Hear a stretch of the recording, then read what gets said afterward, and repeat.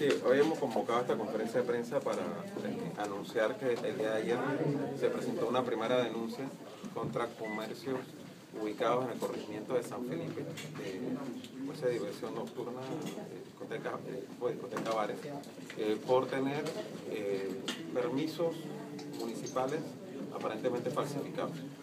¿no? Comercios que tenían permisos nocturnos, por ejemplo, lo estaban exhibiendo cuando la alcaldía de Panamá no les ha eh, pedido tal permiso.